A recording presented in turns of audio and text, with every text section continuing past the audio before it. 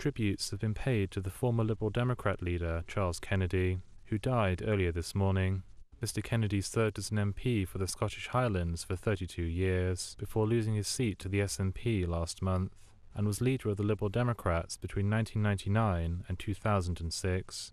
His leadership was most remembered for his opposition to the Iraq War in 2003, becoming the main party leader in Parliament to oppose the decision. His opposition to the conflict arguably allowed him to lead his party to its best general election result since the 1920s in 2005. Nathaniel Amasansam, The Report. Well, to discuss the last story that we've just seen, we have in the studio uh, Dr. Evan Harris, Associate Director of Hacked Off and a former Liberal Democrat MP, and on the phone, Jeremy Corbyn, the Labour MP for Islington North. Evan Harris, let me start you first uh, with you first of all. How do you remember Charles Kennedy? Well, I remember him when I was a student because I'm five years younger than him, I suppose, and he was already an MP when I was a medical student, and he visited my university, Oxford University. Um, SDP club, as it was then, uh, and then the Alliance. And I, like him, I was a member of the, of the SDP. And then I knew him when I was elected in 1997 as a very supportive senior member of Parliament of my own age. And then, uh, and then as party leader, and he appointed me to the front bench to speak on health. Um, and, uh, you know, he achieved very good results for us as a leader. So I wasn't very close to him. Uh, people say he had a sort of common touch. He could relate to people in a much better way than most senior politicians. Well, clearly he did. It's not for me to say because I knew him professionally and as right. a friend. But yes, uh, he clearly had an effect. He, the, there are various facets to him. He was able to communicate. And secondly, uh, and not just secondly, he was one of the few people to survive Have I Got News for You and thrive on it as a politician rather than being the butt of the jokes and, and floundering. And Jeremy Corbyn, uh, what's your memory of him. Of course, he was in a different party from you, but you were a long time together in, in Parliament itself. Yeah. I first met Charles in 1983 when I was elected to Parliament at the same time as him. He came in as an SDP MP, I as a Labour MP. So clearly we're very different parties with a very different perspective. And the election was very bitter between Labour and the SDP um, because SDP were challenging for Labour votes, basically. Uh, we were both appointed to a committee in Parliament to examine the Social Security Bill, a dreadful bill that the, that the then Conservative government brought in. And we worked quite well together. We, we fundamentally agreed on lots of issues of social justice. I always found him very warm, um, very friendly, and a very intelligent guy.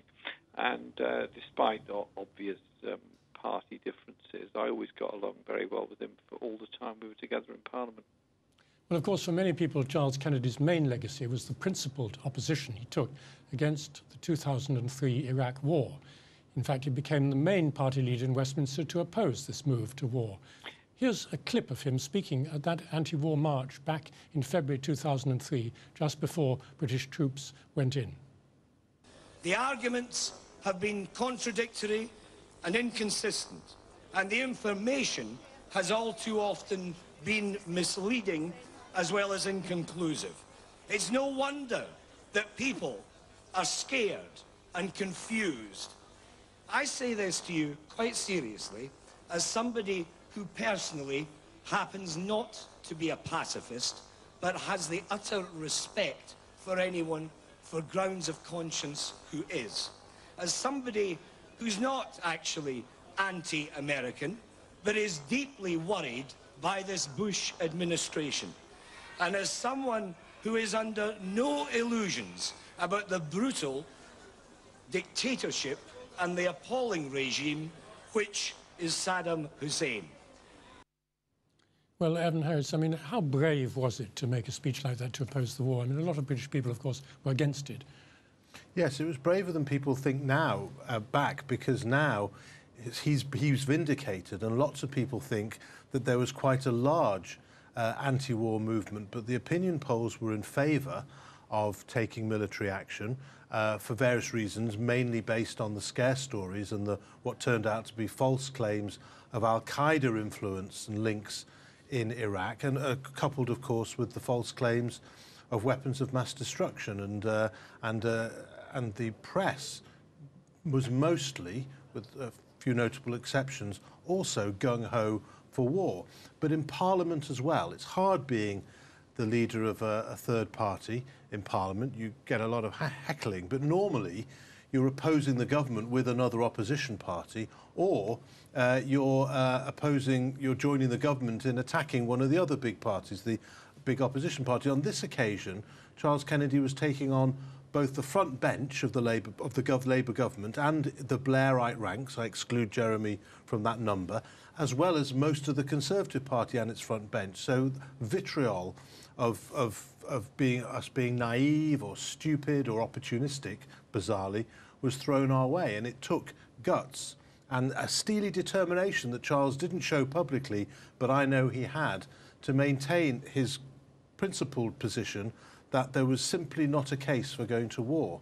And he's been vindicated now, as have other anti-war politicians of the year, including Jeremy.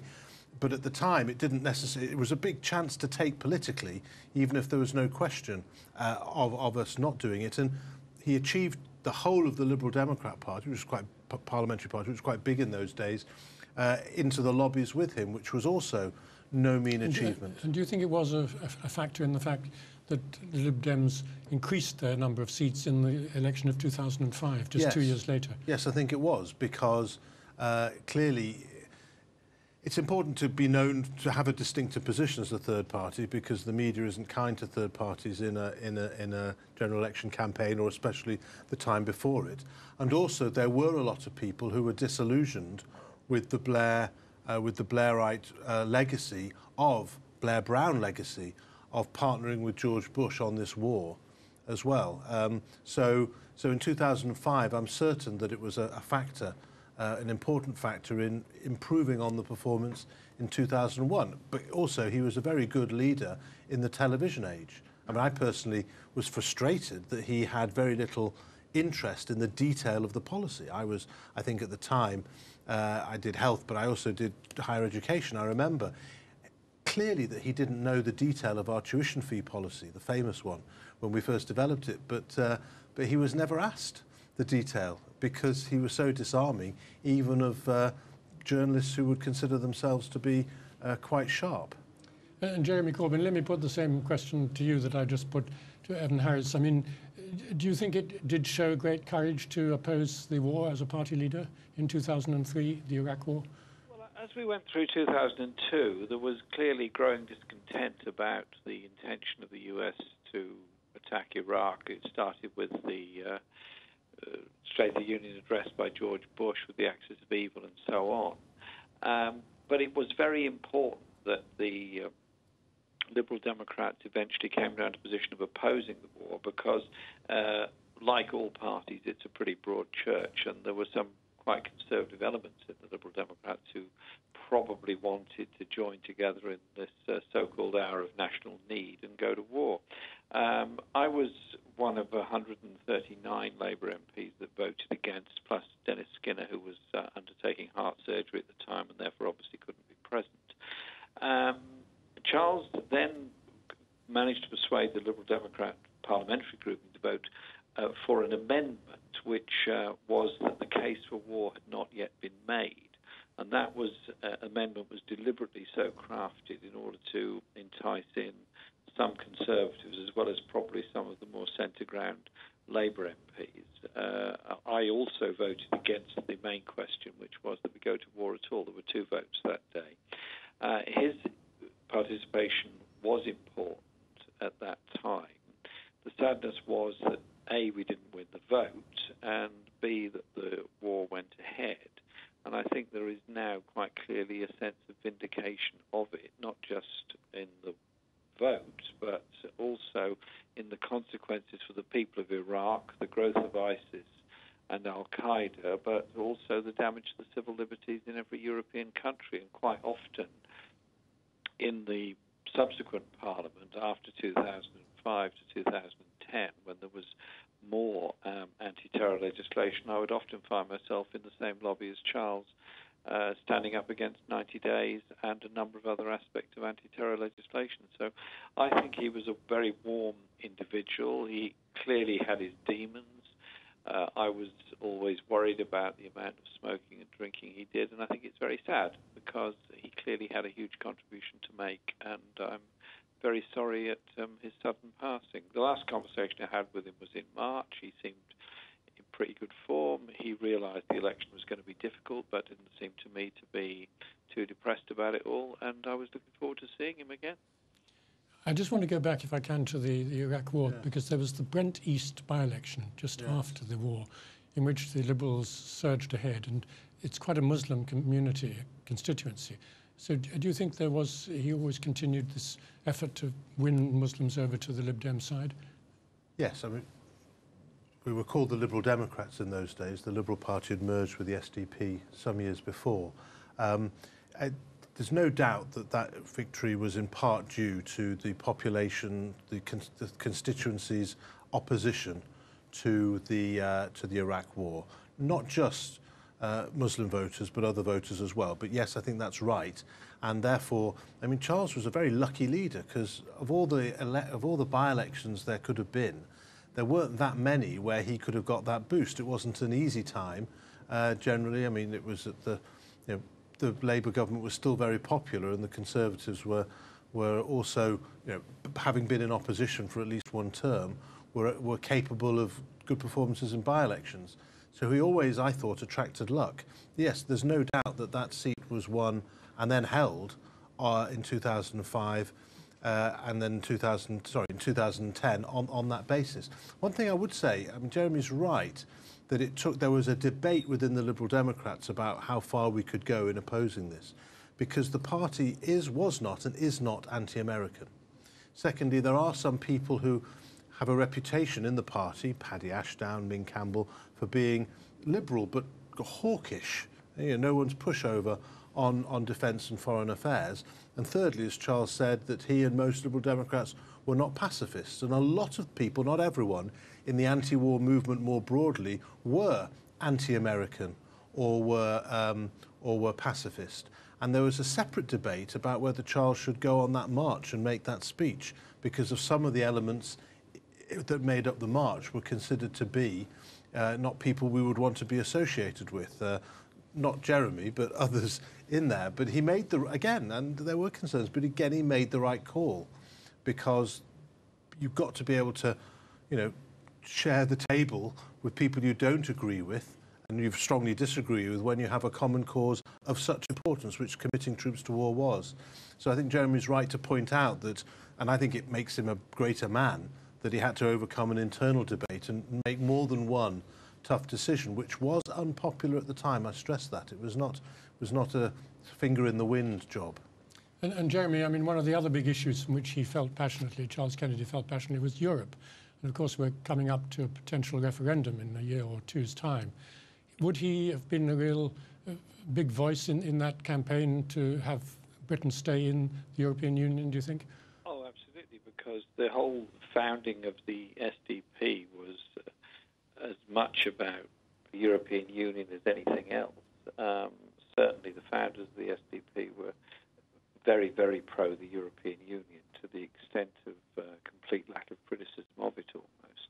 Uh, Charles was keen on the European Union. He often talked about that, often spoke about it, and I think he would be appalled if we ended up with a referendum campaign which was a sort of a race between um, nationalism and xenophobia without any real discussion about human rights, workers' rights, environmental standards across the whole continent. But yes, it was very much the basis of his politics. He'd also studied in the USA, had quite a good knowledge of the USA, and uh, he didn't pretend to be on on the left in politics. He wasn't. He was a kind of centre ground um, liberal Democrat, but he made a very important decision at a very important time, particularly um, on Iraq. And I think it's interesting that uh, all the tributes today, all of them, um, bring in the, the question of the Iraq War. But I would also bring in his questions on civil liberties and on human rights, where he was equally uh, determined and courageous. Well, thank you for that. Before we go to the break, the death of Charles Kennedy has actually been getting Twitter trending. Philip Robinson, for example, tweets tragic news about Charles Kennedy, a hugely gifted politician who was widely admired and respected. Deepest sympathy to his family and friends. At Phil SPM adds, not a fan of Charles Kennedy on a political level, but by all accounts a principled and decent man taken well before his time. And former Guantanamo prisoner Moazzam Begg paid respects, his respects to Mr. Kennedy's work for the oppressed, saying he was one of the few British politicians who helped Begg's father in campaigning for Moazzam's release. He tweets, Charles Kennedy was one of the few politicians who supported my dad's fight against Gitmo when few cared or listened. And lastly, Carol Ann Grayson, who's the executive producer of the Oscar-nominated documentary Incident in New Baghdad, tweets, Charles Kennedy had the common sense when most politicians were utterly useless on Iraq. He opposed the war. Well, we've come to the end of the second part of the program, but do join us after the break. Well, we'll be looking at the trial of former Egyptian President Mohamed Morsi, was, which was due to be held today in Cairo but was postponed. Don't go away.